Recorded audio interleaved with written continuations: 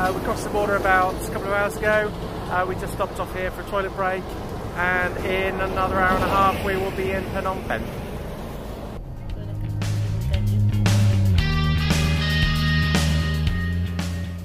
We only have one full day in Phnom Penh, um, so we're making the most of it. We got up early this morning and we're currently here. This is the Silver Pagoda, it's just behind me, and uh, a bit further back over there you have the Royal Palace.